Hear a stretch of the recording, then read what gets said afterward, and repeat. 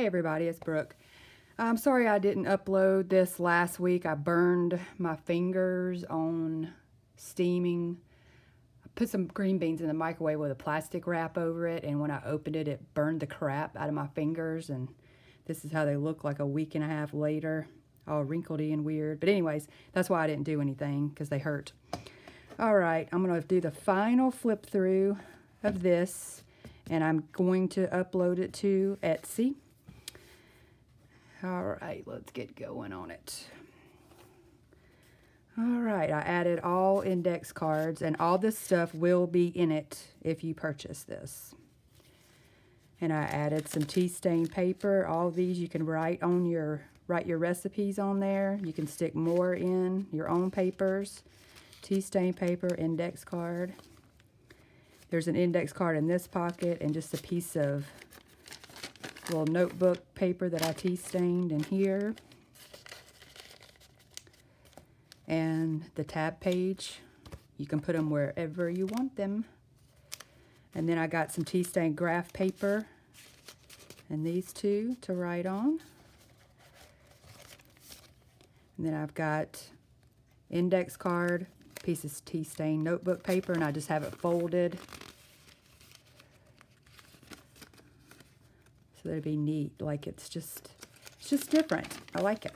And you can write your recipe out on here. And maybe put a little cute paper clip or whatever. And then index cards.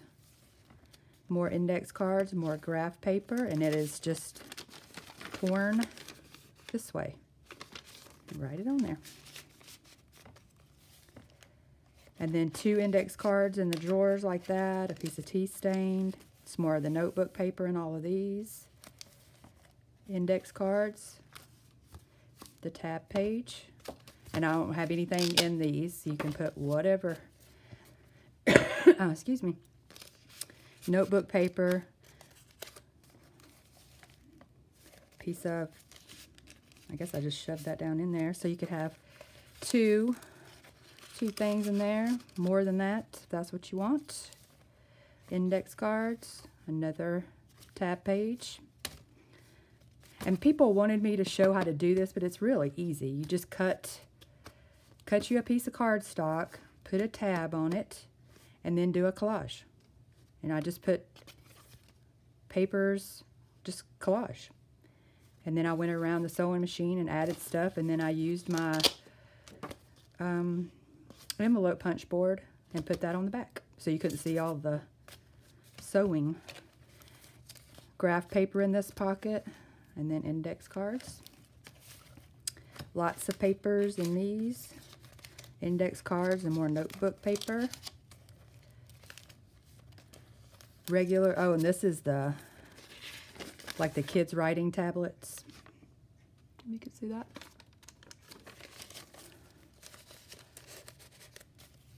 And then the other tab page more index cards.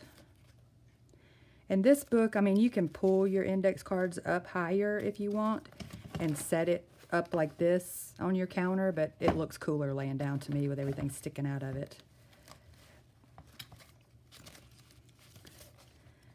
Notebook paper index cards, index cards, another tab page, and all these are notebook, just cut in half, ripped ripped in half. More graph paper and an index card. Just all kinds of papers. I love it. More. Another piece of that kid's writing tablet. Another tab page. This one is desserts. This is the last one. And of course, if you want your desserts in the front, that's where you put them. And I like that idea. And there we go. There's the book all ready to roll. And see how pretty it is? Just sitting there after you tie it up. All right, I'm going to get this uploaded to Etsy. And if anybody wants it, have at it. Thanks for watching.